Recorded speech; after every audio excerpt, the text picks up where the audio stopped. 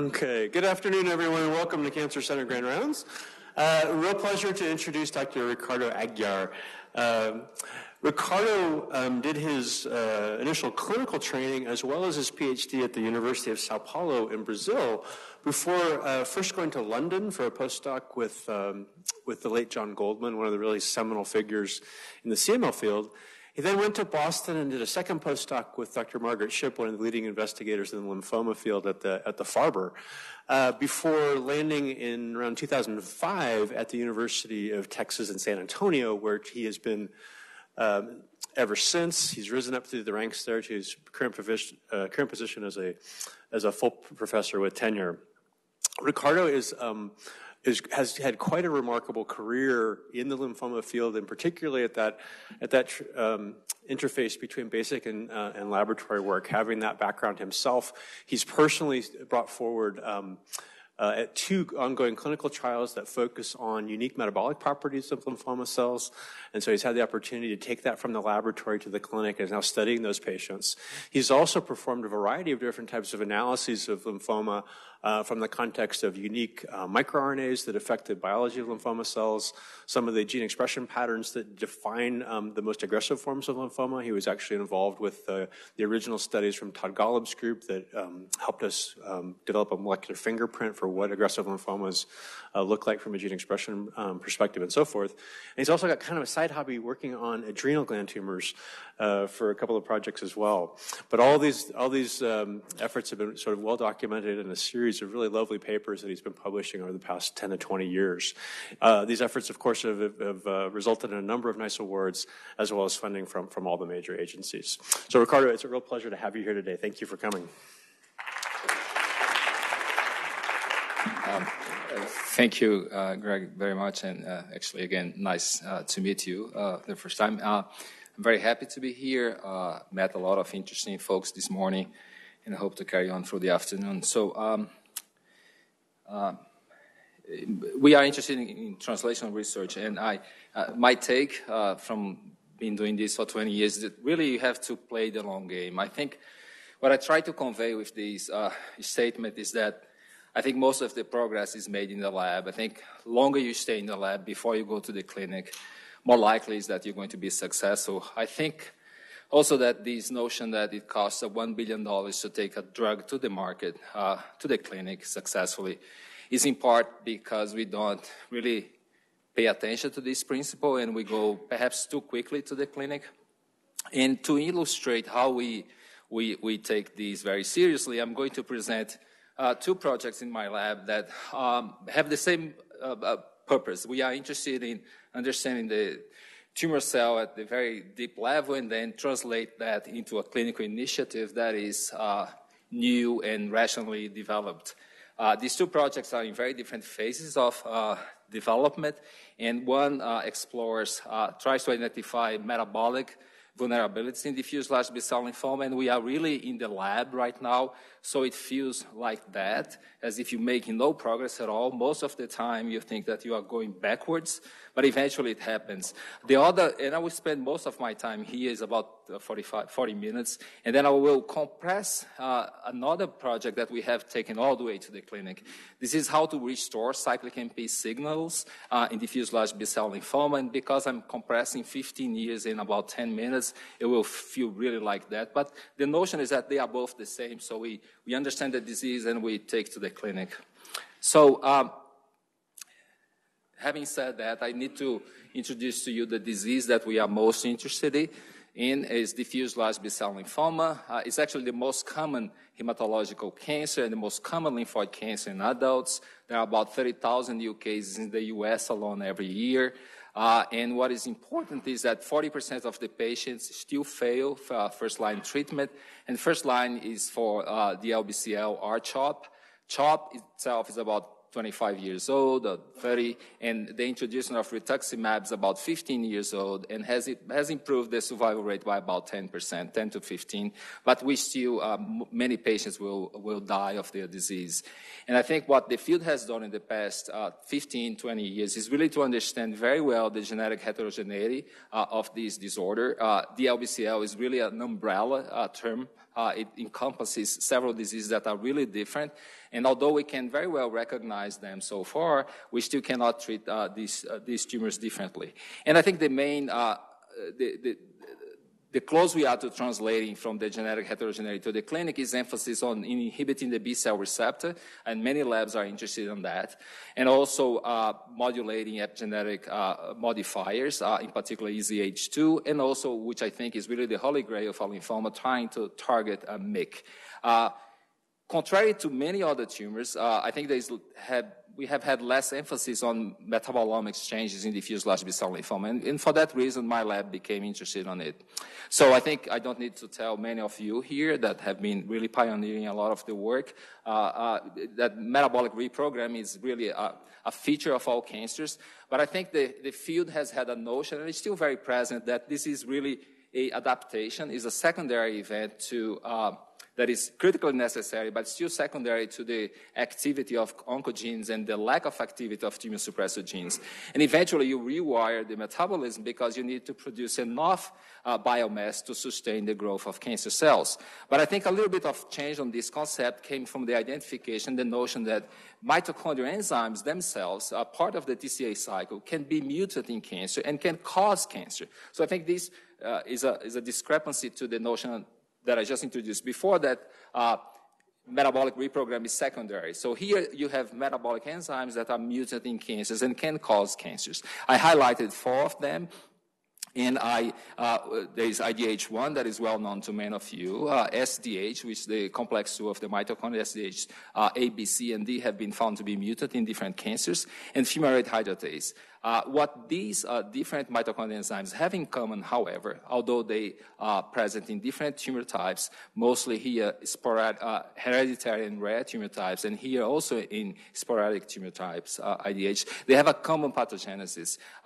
It seems to be the case that in, in, when you lose uh, these enzymes, FH and SDH, or when you gain a function of IDH mutations, you accumulate metabolites that have one feature in common. They are all structurally related to alpha-ketoglutarate. And because of that, they, they, can competitively inhibit a class of enzymes called alpha-KG-dependent dioxygenases. And this is a very large family of about 80 enzymes. And I'm highlighting here three of them, the prolyl hydroxylases for HIF and collagen, uh, the TET DNA hydroxylases, and the histone demethylases, because they have been the most studied uh, since uh, IDH mutants have been identified. But because, again, IDH uh, is the most common, is present in sporadic cancers, and is also present in AML, I'm going to focus on it for, from here on. So this is a very interesting model for uh, mutation in cancer. Uh, I'm going to, uh, on the left side, I'm describing to you uh, what is the way that uh, normal IDH1 and 2 function.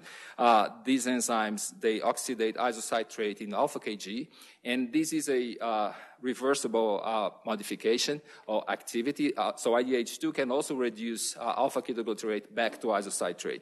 What is different when IDH1 or 2 is mutant is that the oxidation is preserved, so actually patients with IDH mutant uh, do not have different levels of alpha-ketoglutarate. However, the enzyme does not reduce alpha-KG back to isocitrate. Instead, it generates a metabolite called D2 hydroxyglutariate. And when this was described, very little, very few people knew at all about D2 hydroxyglutariate. It turns out uh, that this is a natural metabolite we all have, and this is present throughout evolution from plants to, to humans. And actually, it comes in two forms. There is a, an enantiomer to D2 hydroxyglutariate called L2 hydroxyglutariate. And uh, nature has actually created two enzymes sitting different chromosomes, are all different, that are capable of oxidating 2-hydroxyglutariate, be it D or L, into alpha-ketoglutarate. Uh, it's of note that this uh, reaction is also reversible, so these enzymes can reduce alpha-KG back to these metabolites.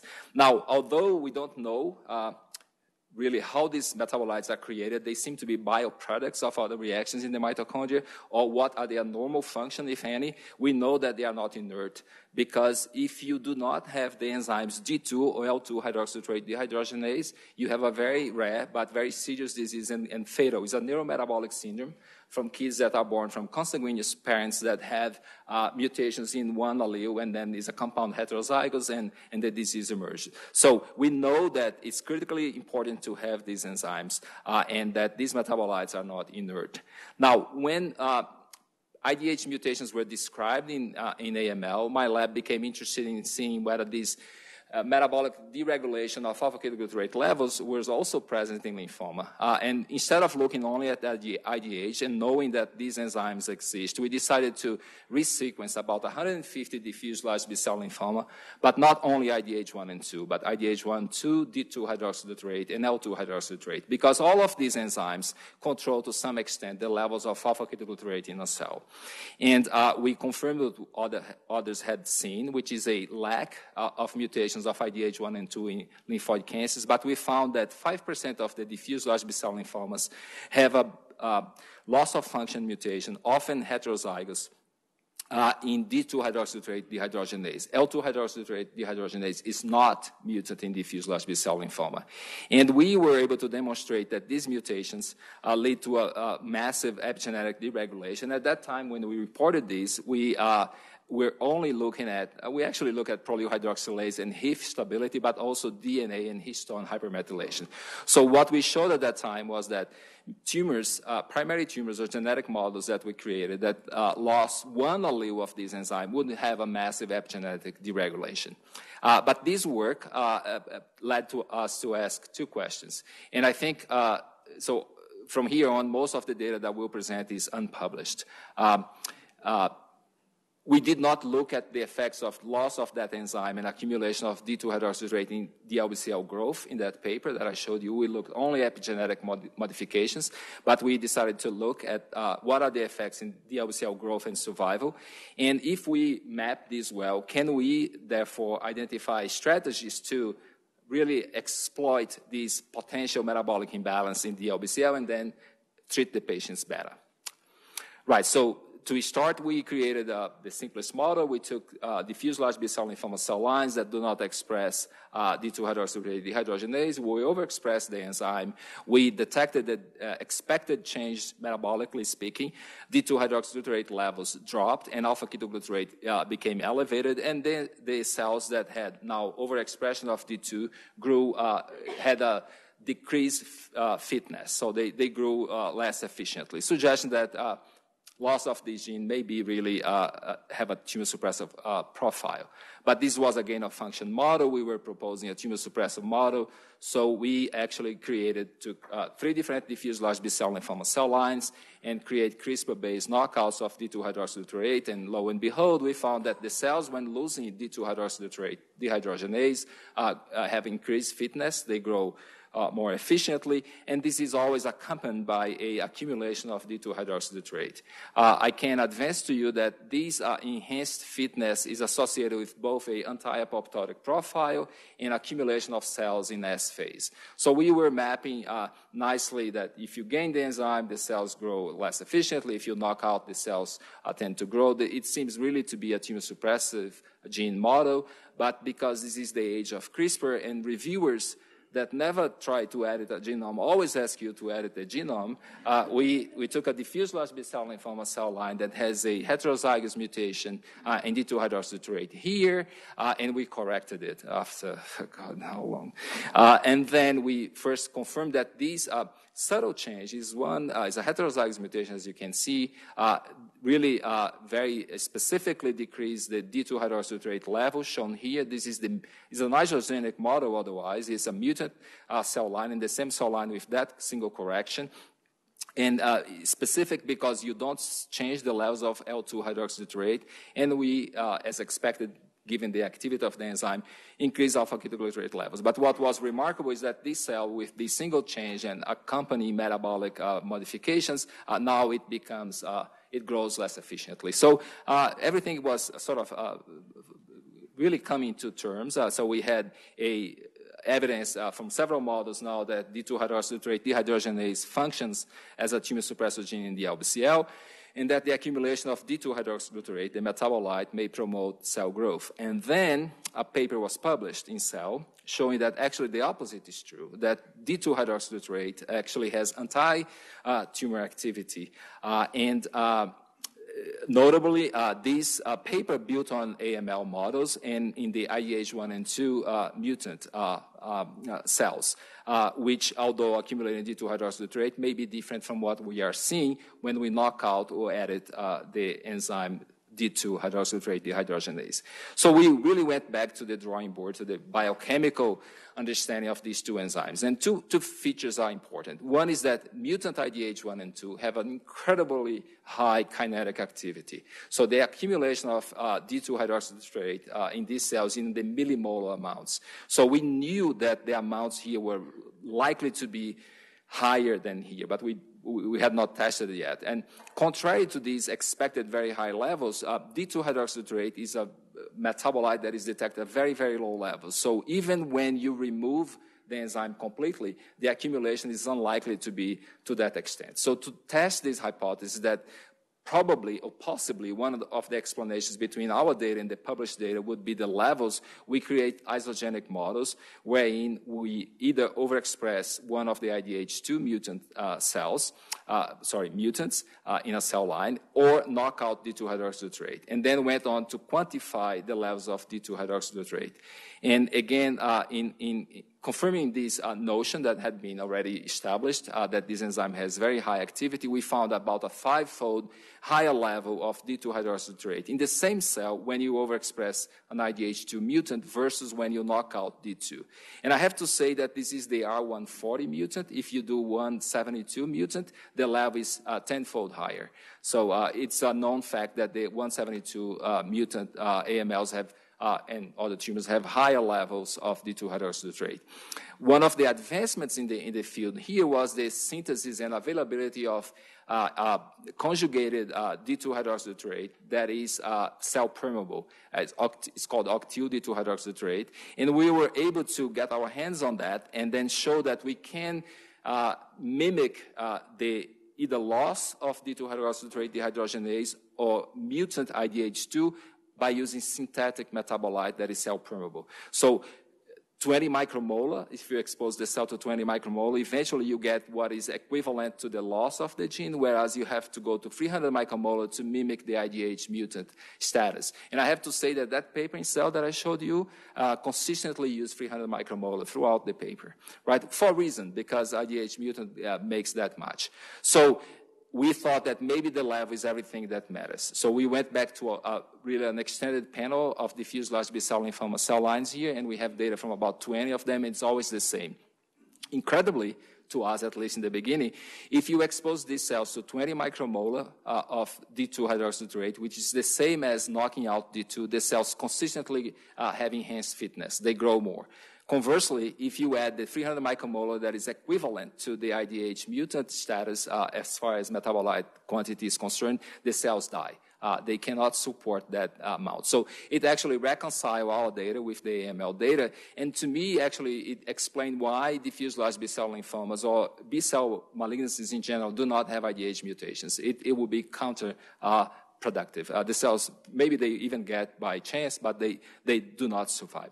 So we, we concluded that there is a, the D2-hydroxybutyrate levels are commensurate with the genetic uh, defect, and that in, when you lose D2-hydroxybutyrate, is growth promoting, associated therefore with diffuse large B-cell lymphomas that lack this enzyme. And uh, if you have uh, IDH levels, some AMLs would survive, uh, and but not diffuse large B-cell lymphoma. So uh, what I have shown you so far is that uh, if you accumulate the right amount of D2-hydroxybutyrate in this disease, you have a, uh, uh, a non-metabolite profile, and the cells become more, uh, have increased fitness. Uh, to us, it was always puzzling that this was always, in our case, accompanied by a decrease in alpha-ketoglutarate. So we posed a very simple question. If this is a non-metabolite, as many people like to call, is this a tumor suppressive metabolite? So we decided to test this idea.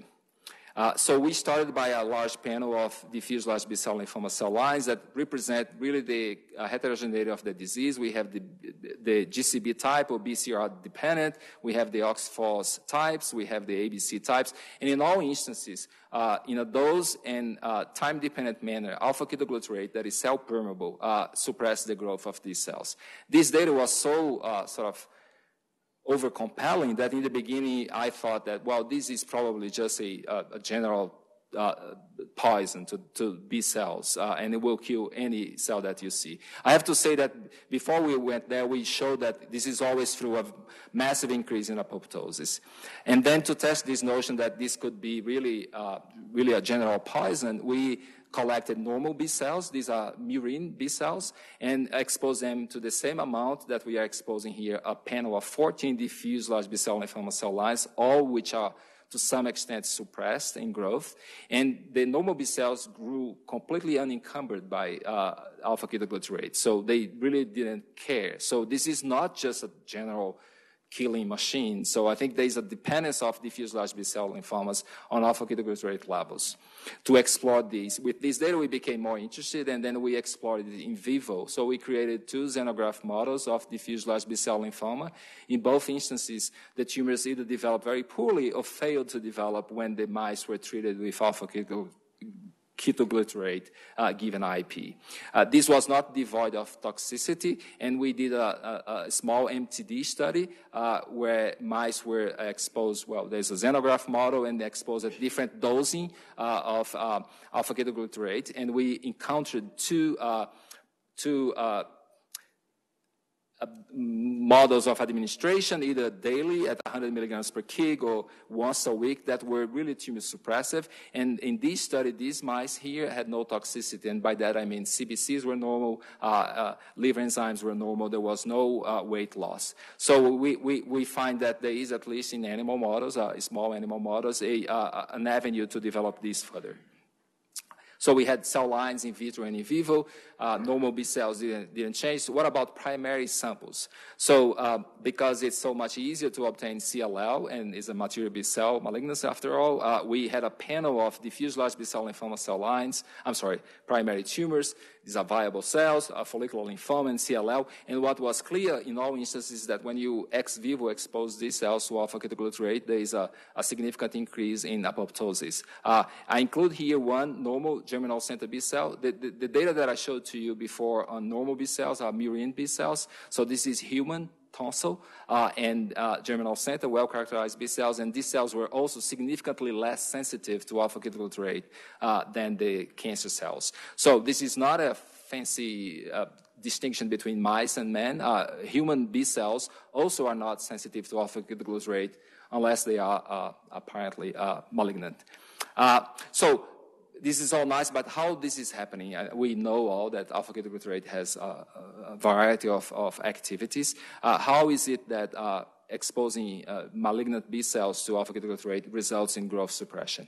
Uh, we actually borrowed from a non-cancer literature. There was a paper about the time we were involved with this uh, in C. elegans in um, Nature, showing that alpha ketoglutarate actually expands the lifespan of worms, and it does so by suppressing mTOR.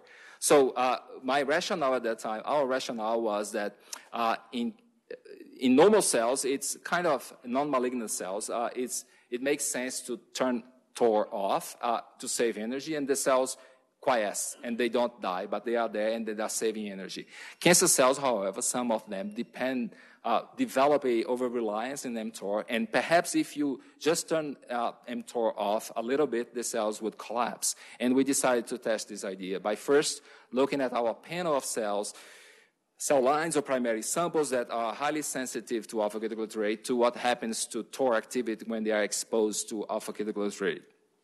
And again, uh, we use two uh, markers here of uh, well-established markers of TOR activity, phosphorylation of P70 or 4-ABP. And in all instances, we see a marked decrease in TOR activity. Uh, and uh, validating this notion that normal cells uh, also get TOR to be inhibited, but are less sensitive. sensitive. Here is that normal GCB that I showed you that doesn't go into apoptosis when you expose to alpha ketoglutarate, or doesn't go much into apoptosis, and it's as suppressed uh, as far as TOR is concerned as the cancer cells. So I think the cancer cells here have an over-reliance on TOR and are very sensitive to its inhibition and collapse. I have to make the point that this is an exposure to only eight hours of alpha ketoglutarate. This is not like after three days, all cells die in culture. So the cells are as good as they started, uh, but TOR is turned off earlier, and then you can measure the cell inhibition growth wise uh, a little bit later. Uh, that is fine, but how is it that alpha ketoglutarate connects to suppression of TOR? the paper on C. elegans had already briefly uh, touched on this. It turns out that alpha-ketoglutarate can bind to complex 5 in the mitochondria. This is the ATP synthase, and then inhibits it. And we decided to test if this was happening in our model. We started by can we measure complex 5 activity in my lab? And it turns out that we could. Uh, and uh, oligomycin is a classical complex 5 inhibitor, and uh, we show here in a classical uh, substrate, uh, bovine heart mitochondria, and we just were able to show that uh, alpha-ketoglutarate in a dose-dependent manner also inhibits complex 5 activity. We expanded on these initial data on diffuse large B-cell lymphoma cell lines, and we showed that oligomycin here is in orange, which is the sort of a positive control. We show that there is a very uh, consistent decrease in activity of complex 5 uh, in diffuse large B-cell lymphomas that are exposed to alpha-ketoglutarate sometimes in a dose-dependent manner, other times not so, uh, but consistent. And you can more simply measure complex 5 activity by quantifying only ATP. So we took that larger panel of cell lines that we have shown from the beginning and showed that uh, if you expose the cells to alpha-ketoglutarate, there is a massive uh, decrease. There's a substantial decrease, not massive, but substantial decrease in the ATP levels, which we think is uh, secondary to the inhibition of complex 5 activity. Now, how to connect uh, this drop in complex 5 activity ATP levels to TOR.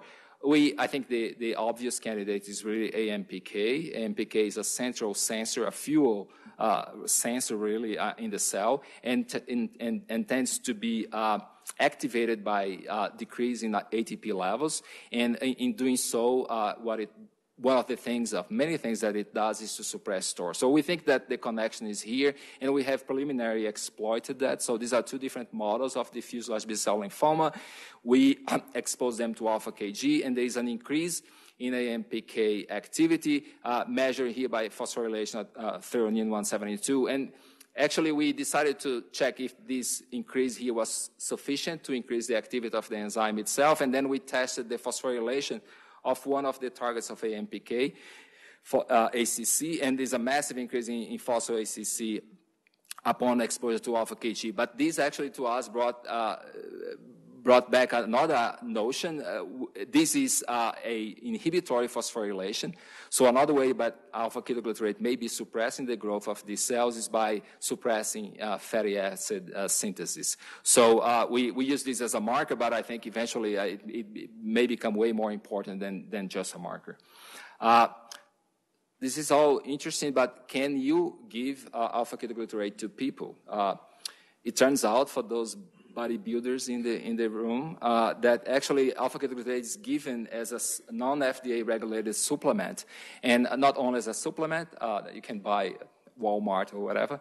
Uh, it, actually, uh, there have been clinical trials, mostly in the setting of wound healing, patients that underwent uh, surgery, uh, not well controlled, but published nonetheless. Uh, so you can give uh, alpha-ketoglutarate to people, and actually the, the amount of alpha-ketoglutarate ketoglutarate that has been given to humans in these trials is very commensurate to what we used in mice. So uh, the levels are, are comparable. Uh, in addition to that, uh, another group uh, did a very interesting work. They were able to actually nanosize uh, alpha ketoglutarate and put in nanoparticles and deliver uh, in the lung for cyanide poisoning. so alpha ketoglutarate has been rovering around uh, human applications. So it's not something far-fetched that you can never even get close. We, we are trying to design something a little bit more a little smarter perhaps. I don't know if it's going to be feasible. It looks like. Uh, we want to deliver this uh, specifically to B-cell lymphomas. So we are partnering with people in pharmacology. We are creating, uh, uh, we are basically nanosizing alpha KG and putting inside liposomes, and we want to decorate these liposomes uh, with uh, rituximab so that it will target specifically CD20 positive cells. there's a trademark already here, Ketosome, so we are patenting this thing before it's even. so we have actually the alpha KG inside the liposomes. We have yet to pegylate and put uh, rituximab. But I think we, we, are thinking that this may be a clever way and less, perhaps less toxic, and really uh, a more concrete way to translate these findings uh, to the clinic. Now, I don't want to leave you with the notion that the only way that alpha-ketoglutarate suppresses growth of the LBCL is through mTOR at all. Uh, and, and, this brings the idea of these alpha-ketoglutarate dependent oxygenases that I mentioned in the beginning. So this is a very large class of enzymes. There are about 80 of them. And uh, we have only scratched the surface in the cancer field by looking at histone demethylase, that DNA hydroxylase, prolyl hydroxylases. Uh, but they, they, they, they, are way large and important. And they consistently use uh, iron and ascorbate, vitamin C as cofactors and alpha KG as a co-substrate. Working in my lab, we have really found that these are all except for iron that we haven't tested. These are rate limiting to these enzymes activity, meaning that if I have more uh, vitamin C and more alpha KG, the enzymes are increasing the activity to a plateau, but they increase consistently. And again, uh, these are the ones that have been the most studied, but uh, my group has uh, last year uh, actually shown for the first time that uh, actually RNA demethylases, uh, FTO and ALKBH5, are also alpha ketoglutarate dependent dioxygenases. To be fair, we didn't discover that they are alpha KG dependent dioxygenases. We were the first to show that in IDH mutant AMLs, uh, these enzymes are also inhibited by D2 hydroxybutyrate accumulation, and therefore it's not just hypermethylation of DNA and histone, but also in RNA.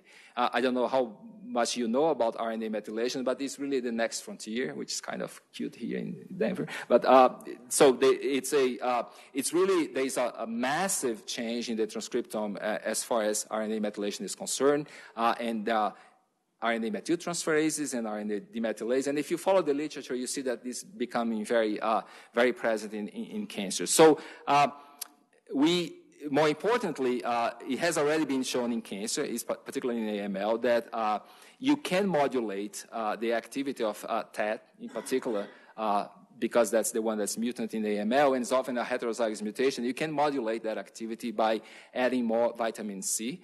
Uh, so vitamin C works as a cofactor. And if you increase the amounts of vitamin C, I think mouse models from Sean Morrison's lab and Yannis Aiafantis uh, showed very clearly that this is possible. And I think is a, actually a reemergence of the notion of vitamin C as a, as a cancer drug that was proposed back in the 70s, but it failed uh, because I think the trials were not done properly. So here we are, $1 billion after uh, uh, really uh, investing on the genome and, and, understanding the cell. And I'm proposing that we're going to cure cancer, at least in part, by giving a, a supplement of ketoglutarate and vitamin C. But uh, I think that even if these remedies fail, you can always run to higher office and, and, and, and, and well, unfortunately, not only run, but uh, win. Uh, so, uh, so I, think, I think there is hope to almost everyone.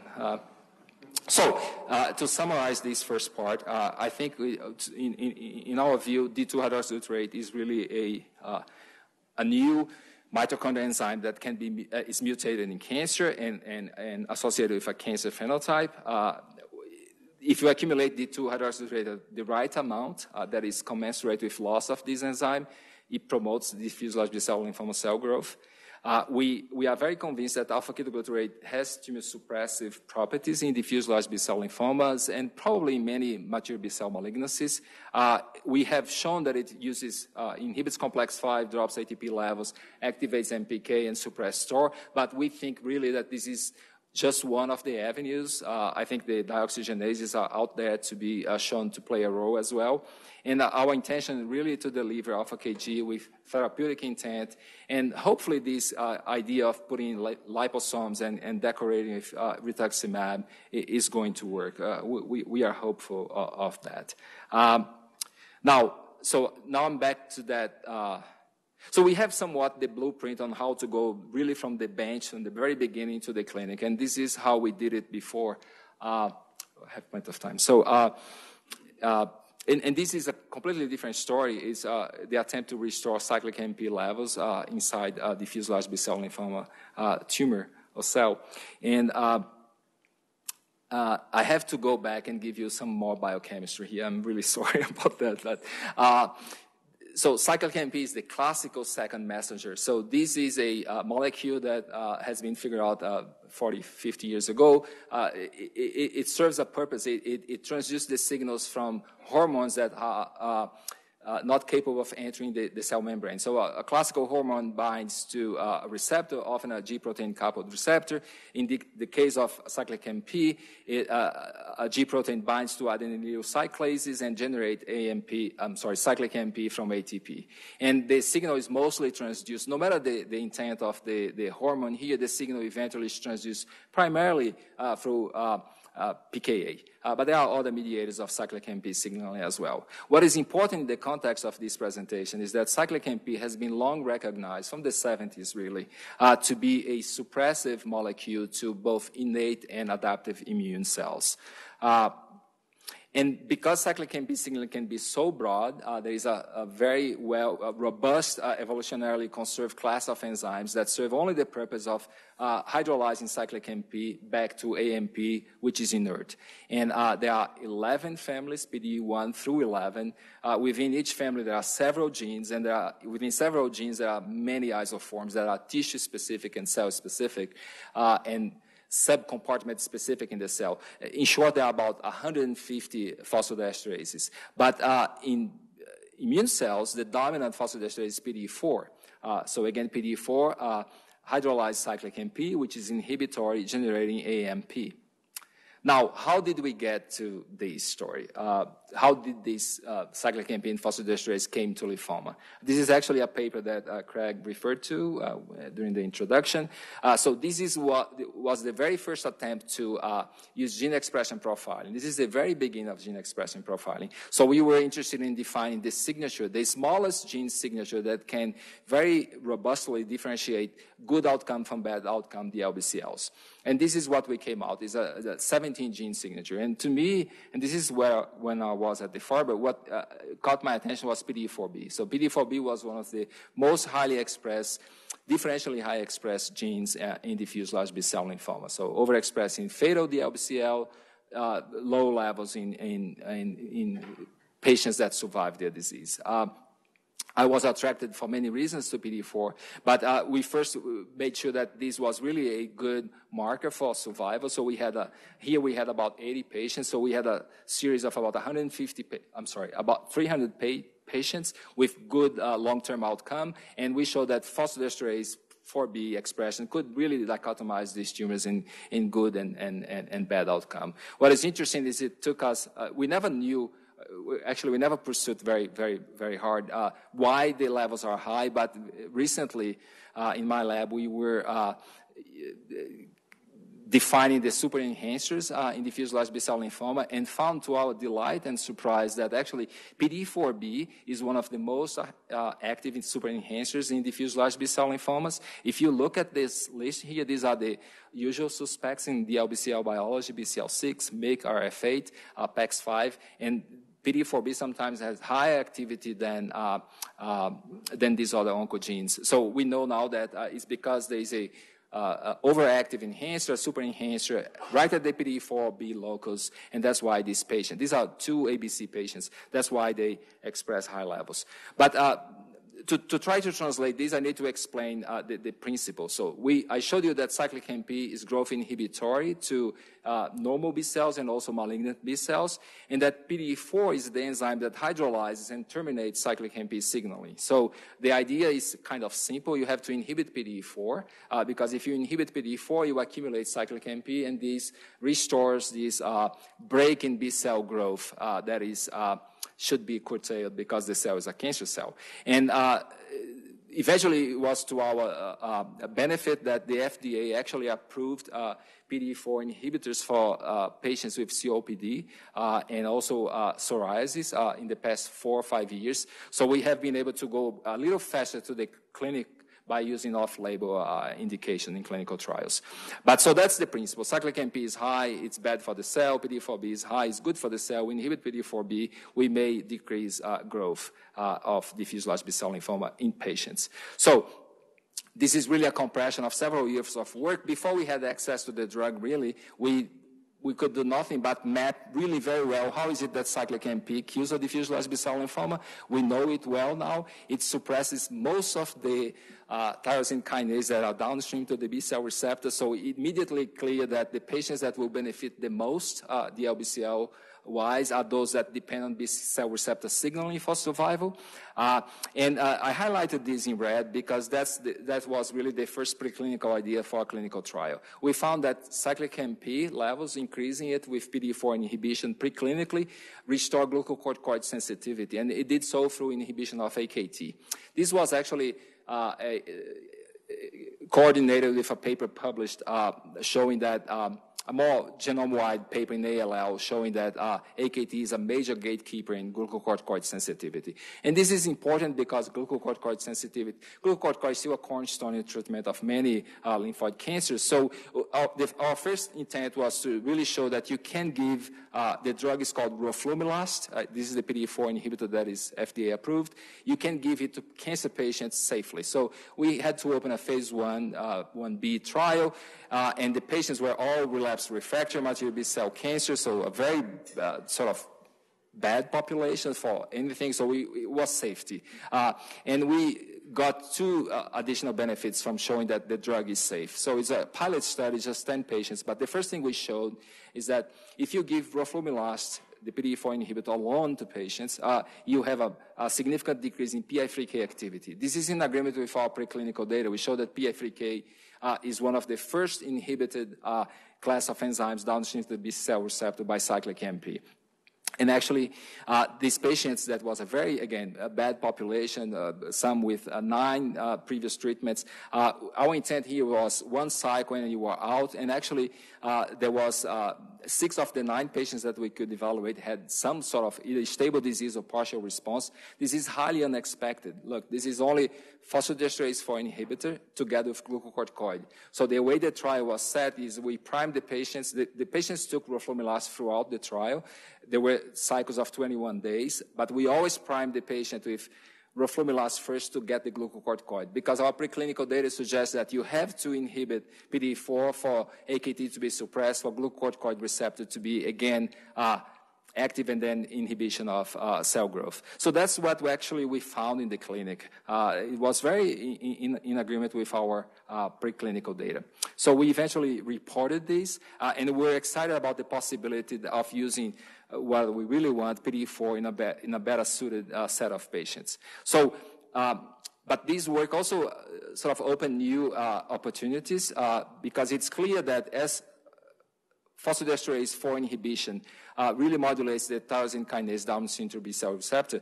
Uh, they are really excellent candidates for combinations. Uh, and one of the combinations that I'm more excited about, and we published recently uh, preclinically, is uh, with PI3K inhibitors. And I say that because we now know we have very specifically shown that actually cyclic AMP inhibits inhibits P85. This is the regulatory subunit of PI3K, not the catalytic. So when we combined with IDALA uh, in preclinical study, we saw a, a, massive synergy. And it's expected to some extent because one is acting on P85, the other one is acting on P110. I think this drug is going to fall through because of toxicity, but other phosphodiesterase I'm sorry, PI3K inhibitors are still at play, uh, and I think that it will be very, it makes uh, sense uh, from a biological standpoint to combine these these these drugs. Uh, so uh, we, we, think that has a, a major role to play uh, in uh, B cell receptor dependent diffuse large B cell lymphomas. Uh, so this is all about the diffuse large B cell lymphoma cell line or the cancer cell line, but there was also data, again, non-cancer literature suggesting that phosphodiesterase 4 and cyclic AMP can actually suppress vascular remodeling in non-neoplastic models. And we became interested with that because one of the less appreciated features of diffuse large B-cell lymphomas is that uh, actually angiogenesis play a massive role in this disease. So for the longest time, it has been known that patients with highest levels of VEGF or with higher microvessel density in the biopsy, they do poorly.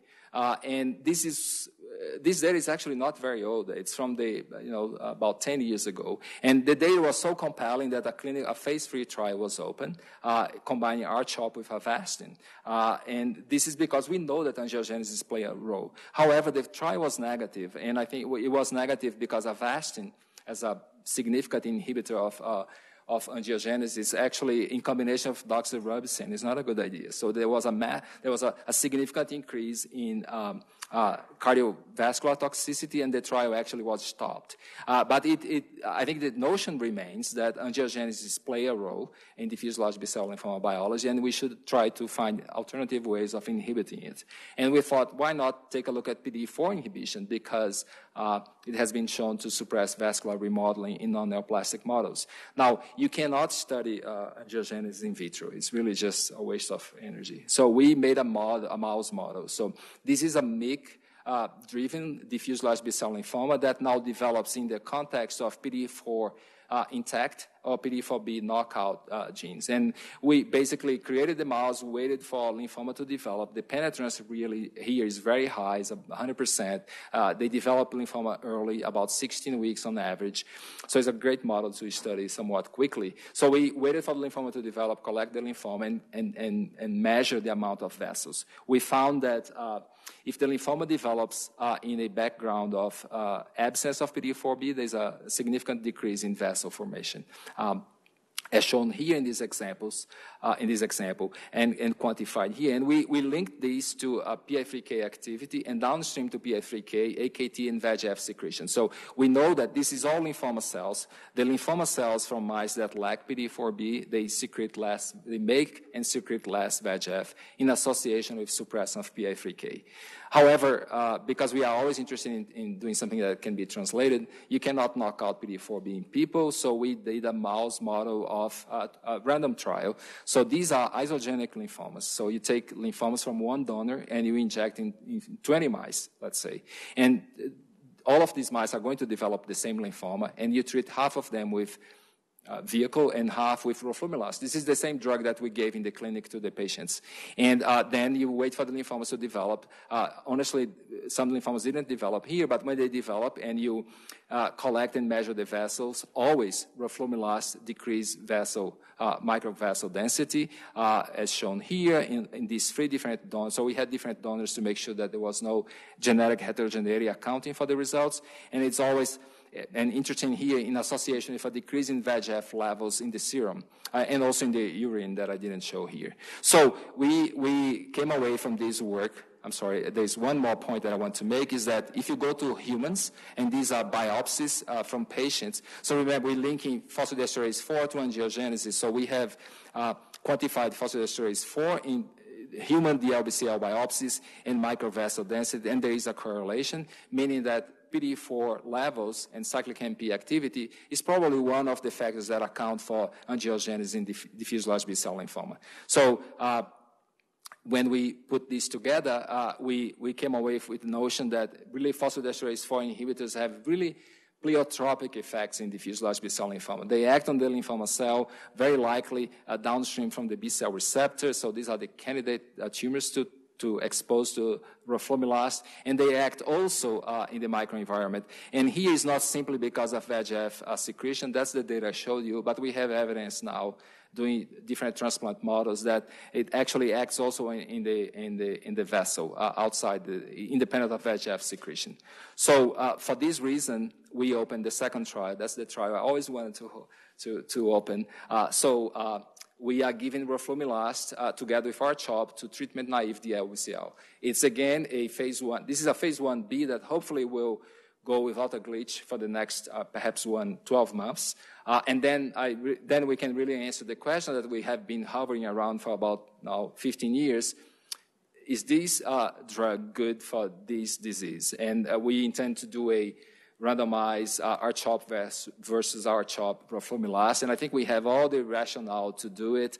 Uh, enrollment here on this trial that is single institutional, it just opened, we enrolled the first patient, and uh, it did really well, uh, is that the FDA was annoying and they wanted uh, so they didn't want the trial. So eventually we told them, okay, we're doing non-GCB only, which is the most aggressive diffuse large B-cell lymphomas, and they allowed us to do. But our population is shrunk a little. Uh, we are hopeful that in, with five patients, no toxicity, and the toxicity really that we are concerned are twofold infections, because this is an anti-inflammatory drug and can suppress uh, innate and adaptive immune response, and also angiogenesis. Uh, but I don't think it gets to the level of Avastin at all.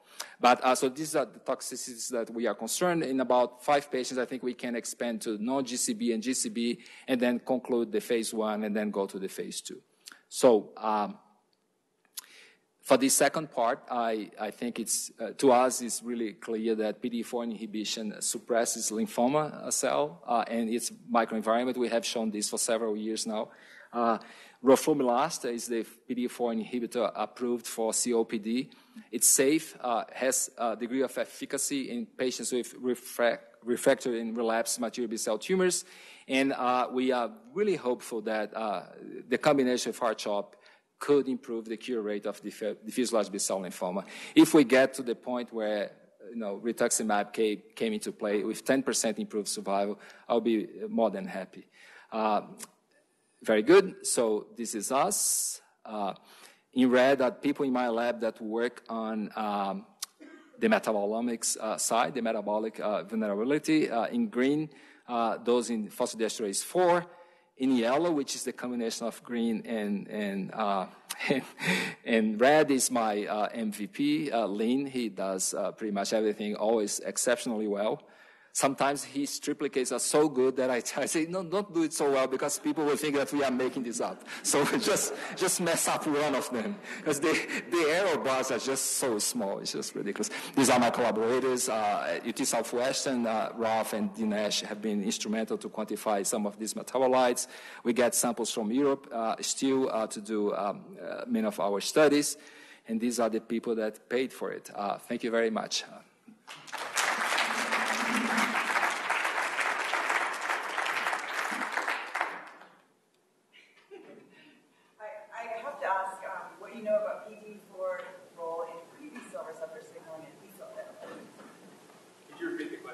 Yeah, Yeah, so what I know about PD4 uh, activity in uh, pre-B cell receptor signaling in, in oh, okay. Uh, I didn't do any of these experiments, so that's the caveat. Uh, we, uh, however, uh, the first time that phosphodiesterase 4 was suggested to play a role in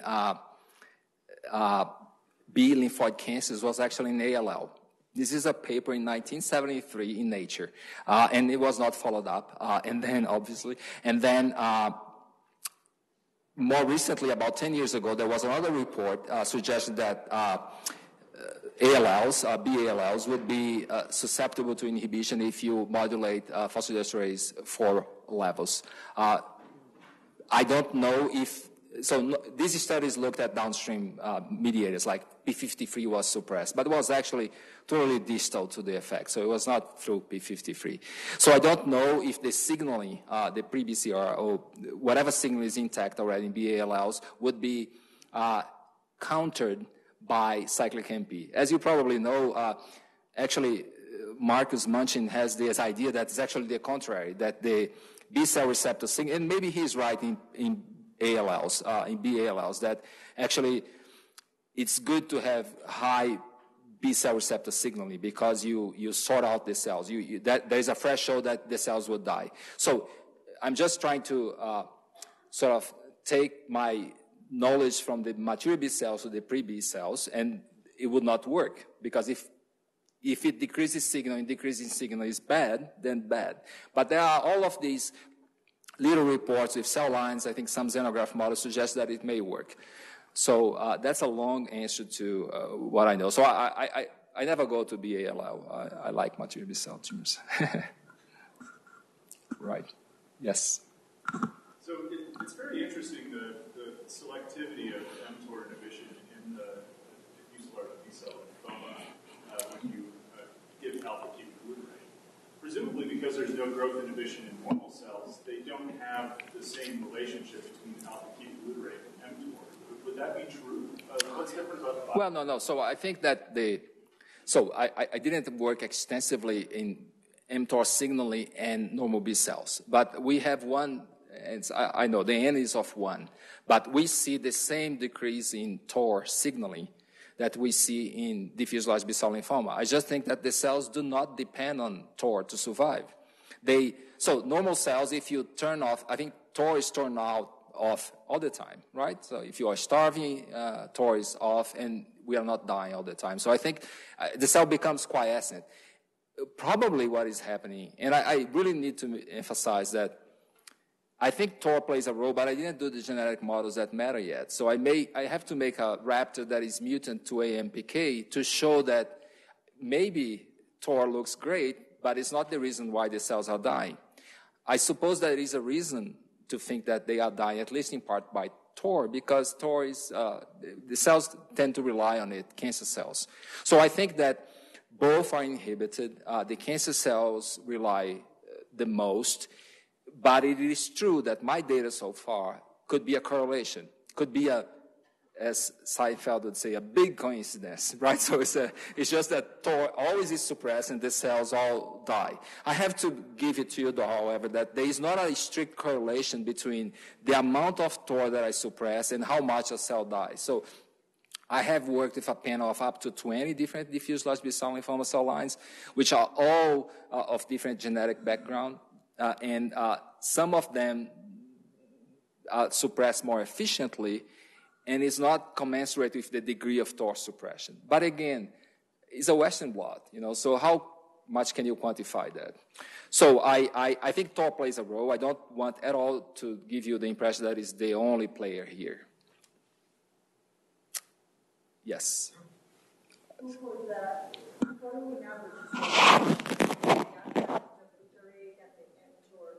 was thinking the alpha ketoglutarate that you give to the cells is quite significant.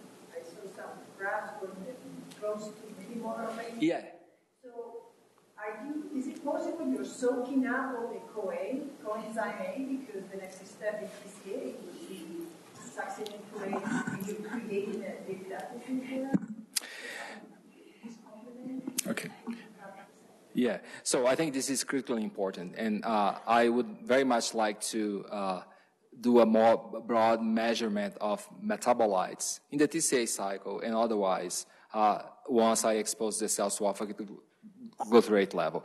I can say that the amount of alpha glutarate that we get, yes, is in millimolar amounts, but this is poorly cell permeable. So when I measure alpha ketoglutarate inside the cell after exposing them to this amount is not dramatically different from a cell that has alpha ketoglutarate high because I have glutaminase uh, occurring. So I'm not creating something that is so artificial that is simply, I'm collapsing the TCA cycle. I think that we are, so the amounts that we use are also not dissimilar from those in the C. elegans study. That is an organism and they, they don't die. Uh, so, but you, you bind to complex 5 and inhibit. Uh, I didn't do, however, uh, I didn't measure a large number of metabolites. So did a flux analysis upon exposing the cells to alpha KG to know what is happening happening in the TCA cycle or, or, or beyond. Uh, what I think is that this is almost you can build uh, several stories, all of them being true from alpha ketoglutarate. There is the dioxygenase, and you can take any one of them. There is this fatty acid synthesis inhibition, which I think plays a, a significant role. And there is our view on, on TOR that I think also plays a role. Uh, how much in, interconnected they are, we don't know. But it is necessary to, to, to measure more metabolites, to, at least to publish it. Uh, you know, that's always the goal. Yes. Yeah. Uh, related question. Do you anticipate the consequences?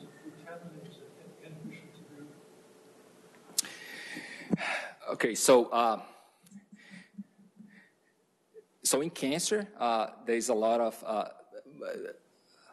because of the reductive carboxylation profile of cancer cells, uh, the, a lot of the alpha KG in the cell comes from glutamine, through glutaminase. And when you have an excess of alpha Kg, what happens often is that the cell uh, IDH uh, starts the reverse, uh, making isocitrate, uh, reducing alpha ketoglutarate. So if I soak up the cell uh, with, uh, if that is what is happening with alpha ketoglutarate, I think glutaminase would be to some extent limited. perhaps there is no need for the cell to uptake more alpha ketoglutarate through glutamine. Uh, I suspect that when I measure the metabolites, what I may see is that IDH now uh, reducing alpha Kg uh, towards isocitrate, mostly then moving the TCA cycle forward. Um, one interesting feature that is related to that is that cells that have accumulation of D2 hydroxybutyrate, uh, IDH mutant cells, are particularly sensitive to glutaminase inhibitors. And this is in part because, so you can make a correlation. Uh, when you have excess of D2 hydroxybutyrate, alpha ketoglutarate functions are being uh, uh, limited, and the cell takes in a lot of glutamine. So it's almost the reverse of what happens when I add alpha-ketoglutarate. So glutaminase is incredibly active in cells that are uh, making a lot of D2-hydroxyglutarate because most of the D2-hydroxyglutarate, the metabolite, comes from glutamine, not from glucose. And uh, I would expect, without any present proof, that if I add excess of alpha-ketoglutarate, glutaminase would be uh, limited building primarily on the correlation of the opposite. How can your experiment IDH mutant patients survive better than Okay, so uh, I have I have a perhaps not orthodox view on IDH mutation. So the the IDH mutant, so the, the IDH is very very interesting because uh, so we, we, show that the levels that we get in a, in a B cell, uh, the cell doesn't survive. So it, it, requires a very specific context for IDH mutation with the massive amounts of D2 to survive, right? Uh, I think that this is the mutation that, although that, that AML is a cancer, uh, I don't think you should ever try to inhibit IDH on those cells because I think that is a vulnerability to the cell. Uh, so the accumulation of, uh, uh, of D2-hydroxyglutarate uh, uh, by impairing a bunch of enzymes, for example, this is mostly from glioma literature, will make the cell particularly sensitive to classical chemotherapy because one of the enzymes that repair DNA is an alpha-KG dependent dioxygenase. So cells with high levels of D2-hydroxyglutarate cannot repair DNA efficiently. Right, so this is well established uh, in, in, the literature. Uh, but this is bringing from the glioma literature. In AML, and we dis- I discussed with Dan this morning, I think uh, one of the features of cells that accumulate D2-hydroxyglutarate, they have a very limited ability to buffer ROS. So these cells are incredibly vulnerable uh, to small modifications of uh, oxidative stress. And this is for two reasons. One is that D2-hydroxyglutarate alone inhibits uh, glutathione and SOD activity.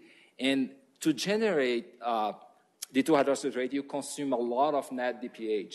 So the buffering ability of this cell is very, very poor. So I think that the IDH mutant cells, uh, the AMLs, uh, I don't know. You said that they do better. I don't think is this. I don't think it's well established that they always do better than uh, another AML. Maybe, well, maybe it is, but I think to the point. I think that uh, this is an AML that uh, actually it makes easier for the doctor to treat if you do not remove the D2 hydroxyglutarate. I think the D2 hydroxyglutarate is the, on the brink to be toxic to the cell.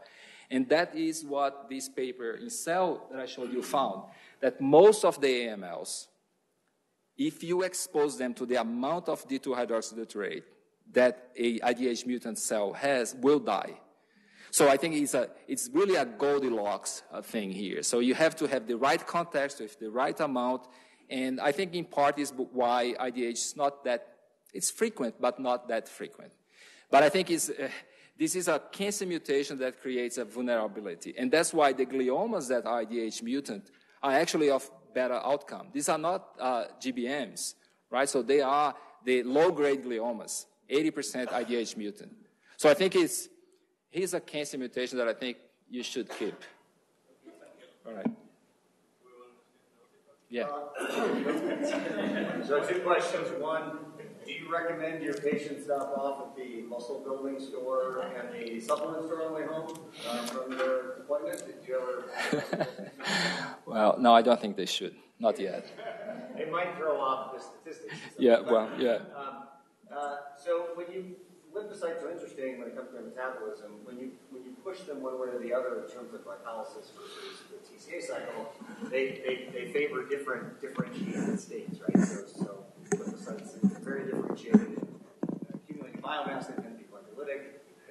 40 and more class at a time.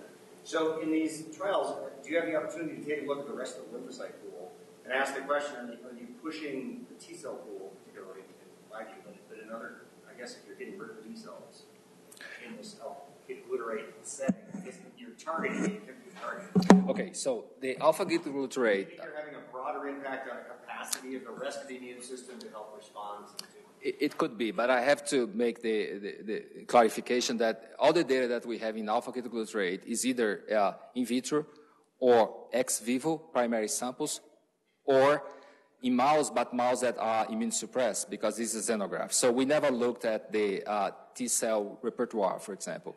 I think that as almost now, the, the, actually, the question is very pertinent for the cyclic MP, which we are giving to people. And uh, phosphodiesterase 4 is also the primary phosphodiesterase of T cells. And uh, fortunately, to get up FDA approved, they treated uh, 10,000 patients uh, with COPD, and there is a massive amount of data from these trials, and there is no uh, significant dysfunction of the T cell uh, activity in these patients. So I think it gets to that point where the cancer cell is probably more uh, sensitive. To me, it was always like imatinib, right? So ABL is a, almost like a housekeeping. It's everywhere. And you still inhibit uh, ABL, and just the CML cells will die. So I think there is this uh, particular sensitivity of, lymph- of cancer cells to a given uh, compound and pathway, and therefore you can get away with it. But I, I fully recognize that both alpha KG and cyclic MP will change the immune response. We have to finish now, but that was a uh, bench to bedside tour de force. Thank you so much. Oh, thank you.